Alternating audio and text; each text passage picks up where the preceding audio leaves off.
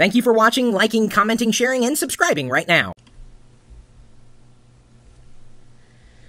Well, a lot of us seem to have digital cameras these days. I happen to like Canon digital cameras. I've got three of them, and I probably should sell a couple of them just to make room for other Canon digital cameras that I buy. But there are certain things that have frustrated me about Canon's cameras, and it's less about the hardware and more about the software. I, I feel they're uh, limiting the power of their cameras somewhat by crippling the software for whatever reason, likely to uh, push people to Canon's higher end cameras. Uh, well, anyway, p- politics aside, got an email from Whappo who took me up on the offer uh, of sending something cool. And uh, you, if you have inter- anything interesting you might want to send me, my email address is chris at pirillo.com. Whappo, he nailed it. Check this out. He writes, I bought a Canon PowerShot S3 a few months ago. I'm really happy with the camera, but it's missing some things that I think it should have. A battery indicator, raw image support, maybe some games. Games? Just yesterday, I found out about CHDK, an open source project with many authors working independently or in loose cooperation to add additional functionality to digital cameras. There are lots of scripts and builds, and the best part is is that this hack or the new firmware, the hack, the software, the firmware, stays on your memory card so you won't have to wreck your camera. So what he's telling me is that this program, this edition, will stay on this, not on this.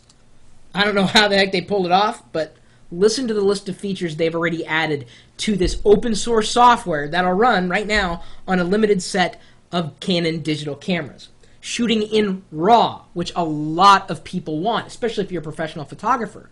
The RAW mode allows you to take a shot, not apply any compression to it, and better tweak the color, the saturation, etc., in your digital image editor rather than taking a JPEG uh, formatted image and tweaking it because it's already been compressed and it just doesn't work the same way as, as raw image mode does a live histogram, RGB blended luminance, and for each RGB channel, which again might only interest you if you are someone who's really into photography.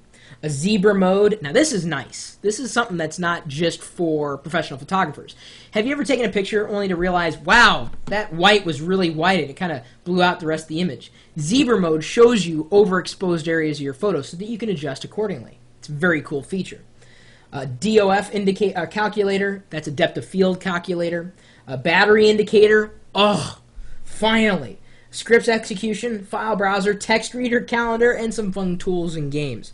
So, wow. now, this is only available for a limited set of Canon digital cameras. I think one of mine is supported, the SD700. I happen to have that one I carry around with me in the car as well. Oh, I guess the S2IS as well.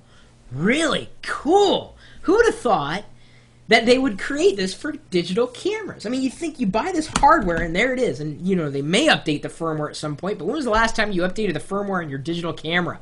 I mean, really, this that's almost like the future of digital cameras. I mean, imagine if you bought the camera, the hardware, and the software, the operating system, the firmware, everything was open sourced so that developers like this could add features and functionality to the same hardware. And then, more importantly, you're if you, if you don't want to run the, the, the tweaks anymore, you just either erase it from the card or remove the card and put it in a different one. That's how CHDK apparently works. Wow. I love open source.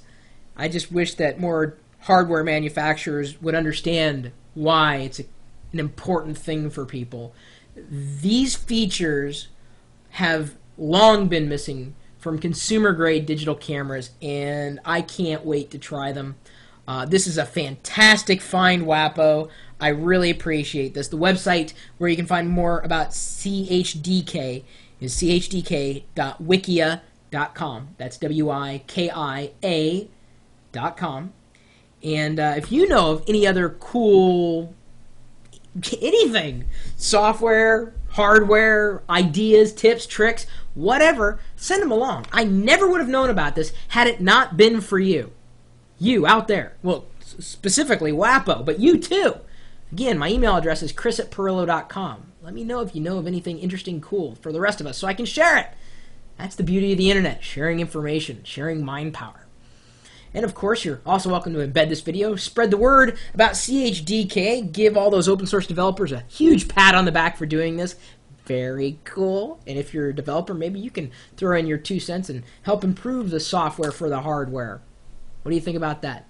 You're also welcome to swing by our chat room where we're typically talking tech 24 hours a day. And we talk about hardware, software, the internet, tips, tricks, you name it. Trust me, it's going to get discussed. 24 hours a day, 7 days a week at live.pirillo.com. We'll see you later.